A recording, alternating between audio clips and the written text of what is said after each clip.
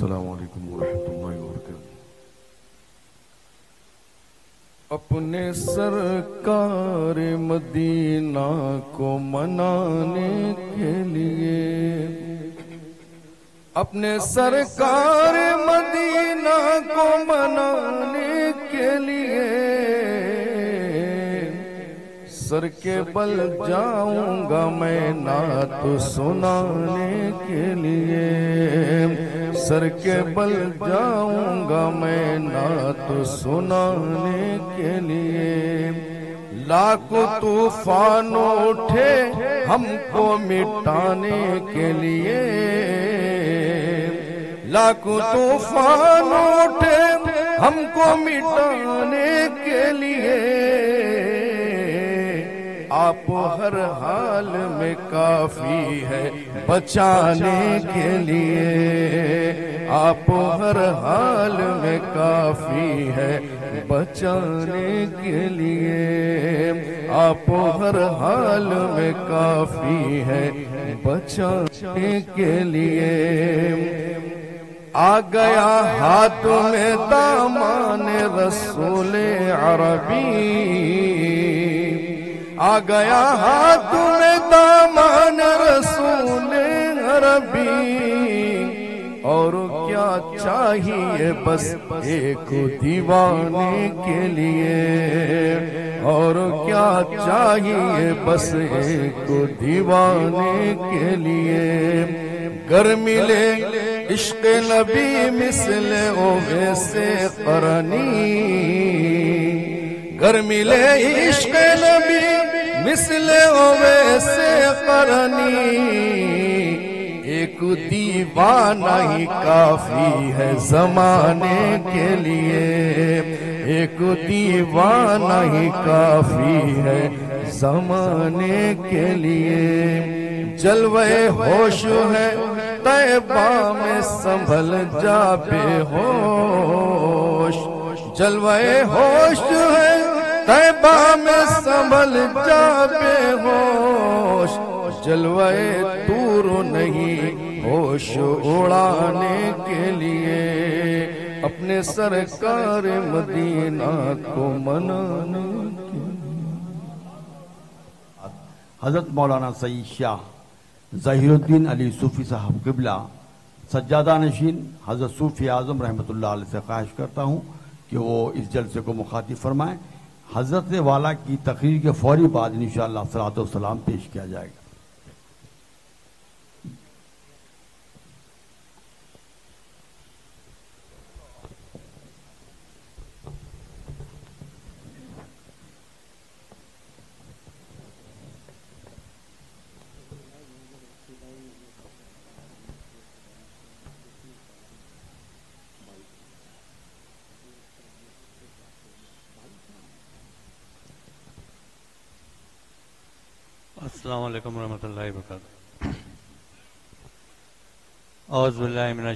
रजीम बिस्मिल्लाहिर रहमानिर रहीम अल्हम्दुलिल्लाहि रब्बिल आलमीन वल वस्सलातु वस्सलामु अला रसूलिही मुहम्मद मुहम्मदिन वालिही वसाबी अजमाइन अमा बाद फ़क़ाल अल्लाह ताला फ़िल क़ुरआनिल मजीद वल फ़ुरक़ानिल हमीद अला ख़ुल्क़िल अज़ीम वक़ाल अल्लाह ताला फ़ी शान हबीबिही इन्नल्लाह व मलाइकतहु यसल्लूना अलन नबी या अय्युहल्लज़ीना आमनू सल्लु अलैहि व सल्लिमु तस्लीमा अल्लाहुम्मा सल्लि अला सय्यिदिना शफीना मौलाना सल्लल्लाहु अलैहि वसल्लम सुना है देखना उनको खुदा को देख लेना है सुना है देखना उनको खुदा को देख लेना है कम अज कम ख्वाब ही में सरकार आपका दीदार हो जाए कम अज कम ख्वाब ही में सरकार आपका दीदार हो जाए।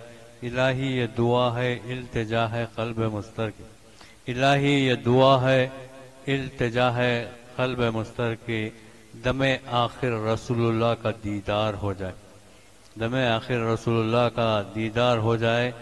सुनते हैं डूबने से जान जाती है। सुनते हैं डूबने से जान जाती है। इश्क मुस्तफ़ा में डूबने से जान में जान आती है। इश्क मुस्तफ़ा में डूबने से जान में जान आती है। शफात आपकी नसीब होगी हम गुनाहगारान उम्मत को। शफात आपकी नसीब होगी हम गुनाहगारान उम्मत को। बटेंगे हश्र के मैदान में सदक़े मोहम्मद के। बटेंगे हश्र के मैदान में सदक़े मोहम्मद के। दुआ है सूफ़ी आज़म की निज़ाम मुस्तफ़ा फैले। दुआ है सूफ़ी आज़म की निज़ाम मुस्तफ़ा फैले। जहाँ में हर जगह होते रहे चर्चे मोहम्मद के। जहाँ में होते रहे चर्चे मोहम्मद के मौज सामने ग्राम और शहनशी पर तशीफ फरमा अरकान इस्तबालिया कमेटी। और अगर मेरी आवाज़ पहुँच रही है तो पस पर्दा सुनने वाली मेरी अज़ीज़ माँ और बहनों, आप तमाम हजरात, इससे अच्छी तरह वाकिफ़ है कि आज आप हम इब्तदाई मलिस इतिहादुलमसलमिन शाख अमर पेट की जानब से हजब अमल दरामद ख़दीम जल से जश्न, मीलाद रहमतमीन वसल्लम। बसद अकीदत व एहतराम मनाने के लिए यहाँ पर जमा हुए हैं और मैं तफसीलात में नहीं जाऊँगा। अभी फाजिल मुकर मौलाना हाफिज़ एहसन बिन मोहम्मद अल अमूमी साहब ने बहुत ही अच्छी तकरीर और मैं समझता हूँ वक्त और हालात के हिसाब से बहुत ही ज़रूरी है, क्योंकि हमारे अमल ऐसे हो गए हैं कि जैसो जिस तरह रमज़ान में जैसो अक्सर आप देखते रहते हैं, गैर मुस्लिम भाई भी जैसो हमसे पूछ लेते हैं कि, मौलाना, ये बताइए, क्या नमाज़ सिर्फ़ रमज़ान में फ़र्ज़ है? रमज़ान में फ़र्ज़ है। अल्लाह के फजल करम से रमज़ान मुबारक के महीने में पूरे मसाजिदें फुल।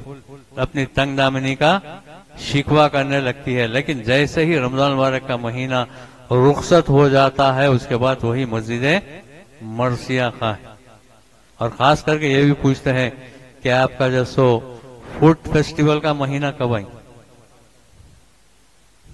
Food festival. अल्लाह के फजल करम से हर किस्म के खाने, पकवाने यकीनन है भाई, लेकिन उसी महीने में, उसी महीने में ऐसे जैसो हमारे अमाल हो गए हैं, लेकिन ज़रूरत इस बात की है कि जैसो इन हालात और इन वाक़ात को हमें तब्दील करना है और जश्न मिलादुलनबी वसल्लम के ज़रिए अपनी ज़िंदगियों में इनकलाब का ज़रिया बनाते हुए दुनिया इंसानियत के सामने बहसीत ग़ुलाम मोहम्मद, हम अपनी ज़िंदगी को ऐसे पेश करें कि लोग देखकर हमको कहते ग़ुलाम मोहम्मद होते हैं तो ऐसे गुलाम मोहम्मद होते हैं तो ऐसे होते हैं अपने अखलाक, करीमाना अखलाक, हमीदाना को दुनिया इंसानियत के सामने जैसो हमको पेश करना है, ताकि जैसो लोग देखकर हमको ये कह के गुलाम मोहम्मद होते हैं तो ऐसे होते हैं जिसको मायर खादरी ने कहा कि मैं कुछ शान से गुजरा सरे मैशर माह मैं कुछ शान से गुजरा सरे मैशर माहिर, शोर उठा के मोहम्मद का गुलाम आता शोर उठा के, मोहम्मद का गुलाम आता है। एक गुलाम में मोहम्मद रोज़े मैशर गुजर रहा था, पुकारा हो रहा था, पुकारा हो रहा था। देखो कौन आ रहा है वो? एक गुलाम मोहम्मद आ रहा है। कौन आ रहा है वो? गुलाम मोहम्मद आ रहा है। एक गुलाम मोहम्मद की ये शान है भाई। तो आज रुए ज़मीन पर लेटेस्ट सेंसस के मुताबिक जैसो 200 करोड़ से ज़्यादा गुलामान मोहम्मदी इस रुए ज़मीन पर। रोए ज़मीन पर रहते हैं और हमारा क्या मुकाम होना चाहिए और क्या मुकाम पर है, इसका फैसला मैं जब आप पर छोड़ता हूँ। जब गुलामों की ये शान है तो आका की क्या शान में कि तू बे बेनशा है, तू बहार सरमदी है, तेरा देखना इबादत, तेरी याद बंदगी।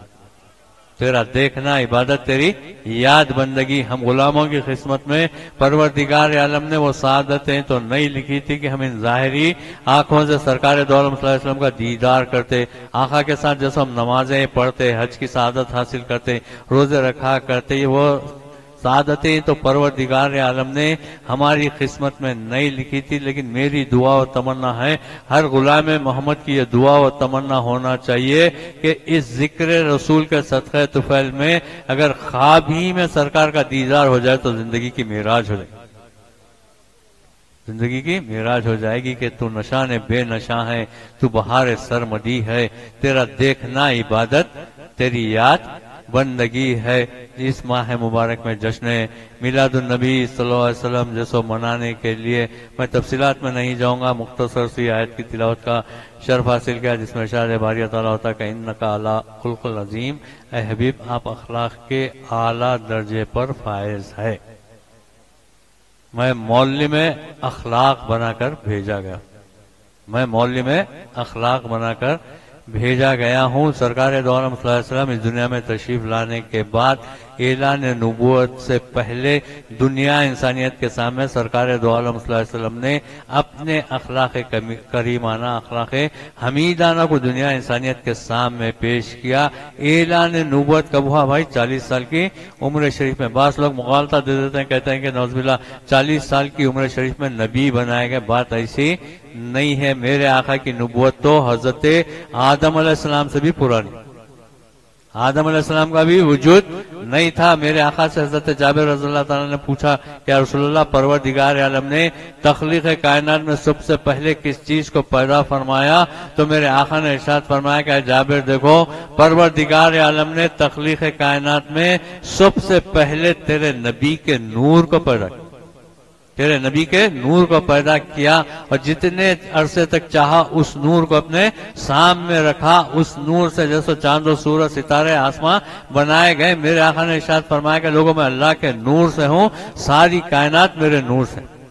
मैं अल्लाह के नूर से हूँ, सारी कायनात मेरे नूर से है। तब तखलीक कायनात में सबसे पहले आपके और मेरे आखा की नूर की तखलीक हुई। ना सिर्फ़ नूर की तखलीक हुई भाई, बल्कि उस नूर को नुबूत से भी सरफराज किया गया।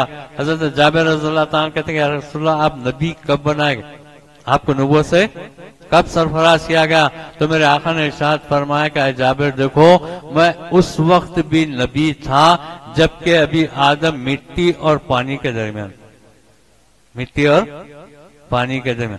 तो तखलीक कायनात में सबसे पहले आपके और मेरे आखा की नूर की तखलीक हुई। ना सिर्फ़ नूर की तखलीक हुई, बल्कि उस नूर को नबूत से सरफराज किया गया। लेकिन बेसत आखिर में, क्योंकि मंश खुदरत में यह भी गवारा नहीं था कि मेरे आका के बाद कोई नबी आते।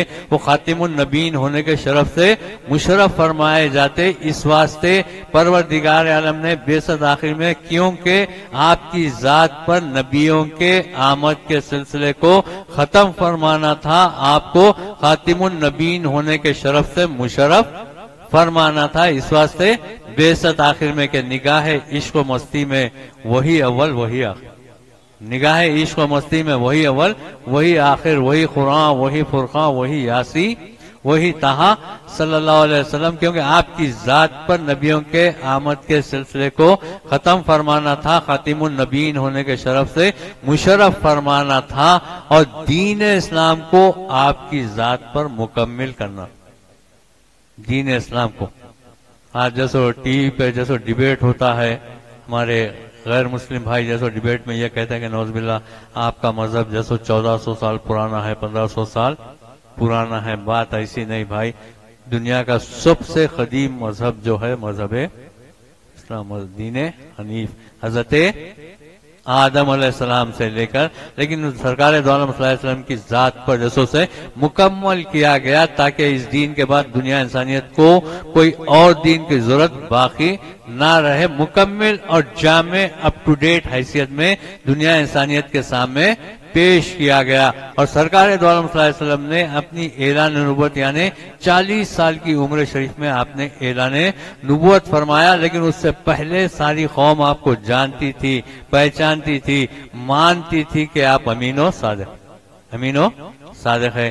सरकार दोलम का एक वाक़ जहन में आ रहा, सरकार दोलम की उम्र शरीफ पैंतीस साल की हो चुकी है। सरकार वसल्लम अपनी उम्र की पैंतीस मंजिलें तय कर चुके हैं तो हरम काबा में जैसो एक जैसो।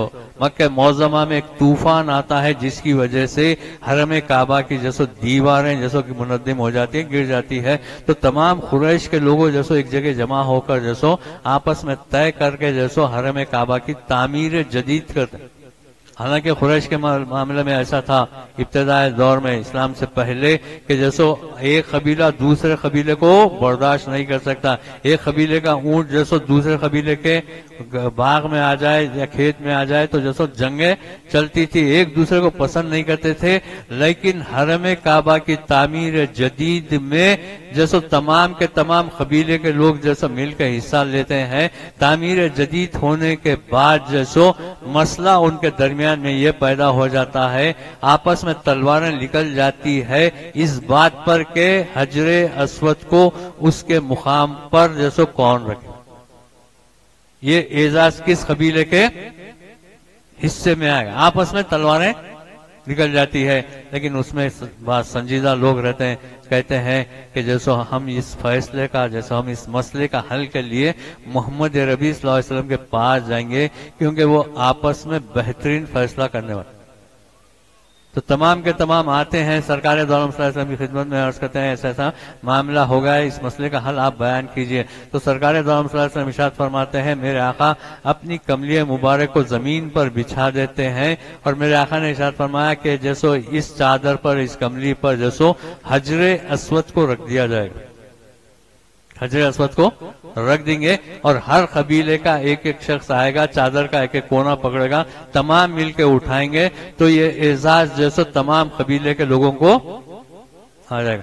तमाम लोग जैसो सरकार दौलम के इस फैसले को कबूल करते हैं। चादर जैसो बिछाई जाती है मेरे आखा हजर असवद को उस पर रख देते हैं और तमाम मिलकर जैसो चादर को कमली को उठाते हैं। लेकिन फिर वहाँ पर इख्तलाफ ये पैदा होता है कि हजर असवद को उसके चादर में से निकाल कर उसके मुकाम पर नसब कौन करे?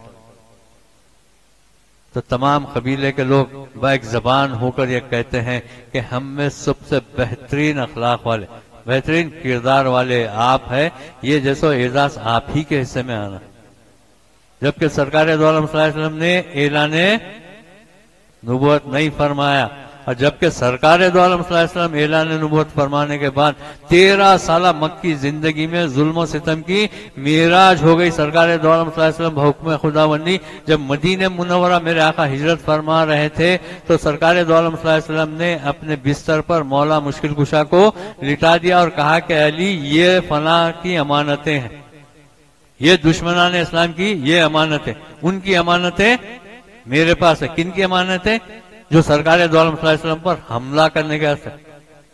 सरकार पर जैसा हमला करने के वास्ते है हुजरे में जैसो, उनकी अमानतें भी सरकार दोलम के पास रखी। और जब सरकार दोलम हिजरत फरमाकर मदीन मुनवरा जा रहे थे तो रिवायतों में आता है कि सरकार वसल्लम अपने हुजरे में, अपने बिस्तर पर हज़रत अली रजल्ला को सुला देते हैं और चादर उड़ा देते हैं और कहते हैं कि अली, सुबह उठना और जैसो ये अमानतें वापिस करके तुम दूसरे या तीसरे दिन मदीन मुनवरा हिजरत करना। हज़रत अली रजल्ला हुजर नबोई में सरकार दोलम के बिस्तर पर आराम फरमा रहे हैं और हिजरत फरमाने के बाद जैसो दूसरे या तीसरे दिन जैसो जब हज़रत अली रजल्ला मदीन मुनौरा पहुँचते हैं तो लोगों ने कहा कि अली, उस रात तलवारों के साथ हिजरत की रात, तलवारों के साय में तुम्हें नींद कैसे आई? मौला मुश्किल कुशा ने जवाब दिया कि मुझे बड़ी इतमान की नींद आई। उस दिन मुझे बड़ी इत्मीनान की नींद आई, क्योंकि मैं हर रोज सोता तो मुझे ये डर और खौफ होता कि सुबह उठूँगा या नहीं उठ, उठूँगा या नहीं उठूँगा, लेकिन उस रात मुझे बड़ी इत्मीनान की नींद आई, क्योंकि मेरे आका ने कह दिया था कि अली उठना। अली उठना। अली का अकीदा यह मौला मुश्किल गुशा का अकीदा यह है, कहते हैं कि लोगों, उस रात क़यामत आ जाए तो आ जा सकती। लेकिन अली को मौत नहीं आ सकती। मौत नहीं आ सकती। कहे के वास्ते? क्योंकि मेरे आका ने कह दिया था कि अली सुबह उठना और अमानतें वापिस करना। अमानत। हालाँकि बड़े बड़े दुश्मन इस्लाम। आपकी जान के दुश्मन, आपके दीन के दुश्मन, उसके बावजूद भी उनका जैसा ये मानना है कि सबसे ज़्यादा अमीन और सादक आप अमीनो सादिक है। और पूरे ऐलान नबूत तक सरकार दोलम ने सबसे पहले अपने अखलाक, करीमाना अखलाक, हमीदाना को दुनिया इंसानियत के सामने पेश किया। लेकिन जुल्म की मेराज हो चुकी और मेराज होने के बाद तेरह साल के बाद मक्के मौजमा, जैसो सरकार मक्के मौजमा से मदीन मुनवरा हिजरत फरमाते हैं। और मदीन मुनवरा में अक्सर आप सुनते रहते हैं कि सरकार दोलम जैसो जब मस्जिद नबवी के लिए मेरे आखा तशरीफ़ ले जाते तो मदीन मुनवरा में एक यहूदन बुढ़िया थी जो सरकार दोलम के ऊपर जैसो कचरा डाला कर। यहूदन बुढ़िया। सरकार द्वारा जब मस्जिद नबी को जाया करते तो वो जैसे शरारतन जैसो सरकार द्वारा पे कचरा डाला करते। साहब ग्राम अकीदत और मोहब्बत से अर्ज़ करते हैं रसोल्ला और यहूदन बुढ़िया आपकी शान में गुस्ताखी करती है, बेदबी करती है, बेहतर है कि आप अपना रास्ता बदल। आप अपना रास्ता बदल। मेरे आका ने इशाद फरमाया कि लोगों, मैं अपना रास्ता बदलने नहीं, लोगों का रास्ता बदलने मैं अपना रास्ता बदलने नहीं, लोगों का रास्ता बदलने आया हूँ। और आज हमारा मामला क्या है कि आप अभी सुन चुके हैं कि लोगों के जैसो रास्ते पर हम चल रहे। लोगों के रास्ते पर हम चल रहे हैं। हम नहीं भाई, हम क्यादत के वास्ते, इमामत के वास्ते। लोग हमको देखकर हमारी पैरवी करना, दुनिया इंसानियत के सामने ऐसे जैसो मामला पेश करना। सन आठ हिजरी में मक्का फतह होने के बाद रिवायतों में आता कि बहुत सारे लोग ऐसे थे कि जो मक्के को छोड़ के जैसो जा रहे मक्के को छोड़ के जा रहे थे। उसमें एक जईफा बुढ़िया भी थी जो अपने घर का टूटा फूटा सामान लेकर जैसो सर पर जैसो रख के जा रही थी, लेकिन सामान के बोझ की वजह से जैसो उसे चला नहीं जा रहा। चला नहीं जा रहा था तो सरकार दो आलम दौड़ते हुए जाते हैं, उसका सामान लेकर अपने सर पर रख के उसके अपनी मंजिल मकसूद की तरफ़ ले जा रहे थे। रास्ते में सरकार दो आलम सल्लल्लाहु अलैहि वसल्लम ने उस बुढ़िया से पूछा कि, बुढ़िया, कहाँ का इरादा? तो कहा कि, मैं मक्का छोड़ के जा रहा पूछा कि, काहे के वास्ते? तो कहा कि, मक्के पर मोहम्मद अरबी का गलबा होगा उनकी हुकूमत आ गई है। वो जैसे लोगों को अपने आबाई दीन से फेर रहे हैं। नए दिन की तरफ़ दावत दे रहे हैं। मैं जैसो अपने आबाई दीन को छोड़ना नहीं जाती, नहीं चाहती, इस वास्ते मैं मक्का छोड़ के जैसो जा रही हूँ। सरकार द्वारा की शान में गुस्ताखी करते जा रही बेदबी करते जा रही। और सरकार द्वारा उसको अपने मंजिल मकसूद पर पहुँचाने के बाद, सामान रखने के बाद, जब सरकार द्वारा जैसो वापिस जाने लगते हैं तो जयीफा बुढ़िया पूछती है कि नौजवान तुम हो कौन? नौजवान तुम हो कौन? मेरा बोझ उठाए तो मेरा सामान उठाए और मुझे मंजिल मकसूद तक जैसे पहुँचाए, आखिर तुम कौन हो? हो कौन? तुम्हारा तारुफ क्या है? तो मेरे आखा ने इशाद फरमाया कि जयीफा बुढ़िया, मैं वही मोहम्मद रबी हूँ जिसके डर और खौफ से तुम मक्का छोड़े जा जिसके डर और खौफ से तू मक्का छोड़े जा रही है, वो मैं, वही मोहम्मद अरबी सल्लल्लाहु अलैहि वसल्लम हूँ। तो जईफा बुढ़िया की जबान से बेसाख्ता निकल जाता है कि अगर तुम वही मोहम्मद अरबी सल्लल्लाहु अलैहि वसल्लम हो और तुम्हारे अखलाक ये है तो मैं गवाही देती हूँ कि तुम अल्लाह के सच्चे रसूल। अल्लाह के सच्चे रसूल है ये अखलाक करीमाना अखलाक हमीदाना को सरकार द्वारा ने दुनिया इंसानियत के सामने पेश किया। आज जालिम कोशिश करते हैं कि जैसो नौजबिल्ला ये कहते हैं कि इस्लाम जैसो तलवार के ज़ोर पर फैला। अरे नहीं भाई तल, तलवार के ज़ोर पर नहीं बल्कि अखलाक करीमाना अखलाक हमीदाना के ज़रिए पहुँचाए। एक आखिरी वाक़ रखते हुए रुख्सत हो जाऊँगा। सरकार द्वारा मस्जिद नबोई में है साहब कराम का भी मजमा है। एक यहूदी आता है सरकार द्वारा वसल्लम की खिदमत में अर्ज़ करता है कि रसोल्ला मोहम्मद अरबी मेरा बेटा गुम हो गया। मेरा बेटा गुम हो गया। मैं हर जगह उसको ढूंढा, लेकिन वो कहीं नहीं मिला। आप अपने रब से दुआ करिए। आप अपने रब से दुआ करिए कि मेरा बेटा मुझे मिल जाए। यहूदी। मेरे आका की शान तो रहमत आलमीन की शान है। वो यहूदी के बच्चे के लिए मेरे आका हाथ उठाते हैं और हमारा अकीदा है, हर गुलाम मोहम्मद का ये अकीदा होना चाहिए। मेरे आका दुआ के लिए हाथ उठाते हैं, रहमत बारी ताला इस्तकबाल के लिए आती है। फ़ौरन एक सहाबी रसूल खड़े होते हैं और अर्ज़ कहते हैं रसूलुल्लाह, मैं इस यहूदी के बच्चे को जैसो शख्सी तौर पर जानता और मैंने देखा कि ये फला महल्ले में और बच्चों के साथ खेल रहा और बच्चों के साथ खेल रहा जैसे इतना मिलती है, यहूदी खुशी के मारे दौड़ते हुए जाता है, दौड़ने लगता है। तो मेरे आखा जैसो उसको रुकाते हैं, पूछते हैं किधर? तो कहा कि बच्चा मिल गया। खुशी और मोहब्बत में, मोहब्बत पिजरी जैसो गालिब आ गई। बच्चे को देखने की चाहत में जैसो दौड़े जा रहा हूँ। तो मेरे आखा ने इशाद फरमाया कि ज़रूर जाना। दौड़ते हुए जाना, ज़रूर जाना, लेकिन जाकर जैसो बच्चे को बेटा नहीं कहना। बेटा नहीं कहना, बल्कि जो नाम रखे, वो नाम से पुकारना। जो नाम रखे, उस नाम से पुकारना, बेटा कह के नहीं पुकारना। तो यहूदी हैरान और परेशान हो जाता है, ये क्या बात? तो कहा कि जैसे, क्या मामला है? पूछा कि क्या मामला है? तो मेरे आखिर ने शायद फरमाया कि उन बच्चों में एक यतीम बच्चा भी है। उन बच्चों में एक यतीम बच्चा भी है। अगर तुम बेटा कहोगे तो उसको अपने वालिद की याद आ जाए कि काश अगर मेरा बाप भी होता तो मुझे बेटा कहता, उसका दिल टूट जाता उसका दिल ना टूटे इस वास्ते जैसो, तुम जाके जैसे, जो नाम रखे वो पुकारना। घर को जाकर जितनी मोहब्बत निछावर करना है, कर लेना, लेकिन जैसे बेटे को बेटा नहीं कहना, नाम लेके कहना। तो यहूदी वहीं सोचने लग जाता है और खड़े होकर कहता है कि, मोहम्मद रबी, ये अगर आपके तालीमत है, ये आपका दीन है तो मैं गवाही देता हूँ कि आप अल्लाह के सच्चे रसूल आज अल्लाह के सच्चे रसूल है, यतीम के जैसे सर पे हाथ रखना भी सवाब। हर बाल के बस एक एक नेकी परवरदिगार आलम अता करता है और मुझे अफसोस के साथ कहना पड़ता है कि जैसो आज यतीमों के माल को हड़पने की कोशिश की जा रही है। भाई, ये कैफियतें गुलामान मोहम्मदी की नहीं होना चाहिए। हम तो गुलामान मोहम्मदी है। इन जलसों को इनकलाब का ज़रिया बनाते हुए अपनी ज़िंदगी बहसियत एक सच्चे और पक्के हमको मुसलमान के बसर करना है। इन जलसों के मनाने का मकसद ही ये है कि भाई हमारी ज़िंदगी में इनकलाब पैदा हो। अल्लाह ताला से दुआ है कि अल्लाह ताला इस गाने शरीफ को कबूल फरमाए और जो कुछ कहा गया, सुना गया, बोलने वाले, सुनने वालों को इस पर अमल करने की तोफ़ी अता फरमा। ए बारी तला इस जश्न का जो अहतमाम किए हैं, बारी तला से कबूल फरमा। इसे कबूल फरमा और हमारे लिए वसीले नजात बना दे। ए बारी ताला दामे दिरमे सुखने, जिन्होंने भी इसमें हिस्सा लिया है, बारी ताला उनके घरों में अपनी रहमत, बरकत, नेमतों का नजूल फरमा, उनके कारोबार में बरकत अता फरमा। ए बारी ताला हमें जो बीमार है, उन्हें शिफा कुल्ली सेहत कामिला अता फरमा। ए बारी ताला हमें जो लावलद है, उन्हें नेक और सालिया औलाद अता फरमा। ए बारी ताला जिनके औलाद ना फरमाना न फरमा बरदार बना दे। ए बारी ताला मुसलमानों को दीन और दुनिया में पता और नुसरत अता फरमा जिसका तूने वादा किया है कुत इश्क से हर पस को बाला कर दे, दहर में इसमें मोहम्मद से उजाला कर दे।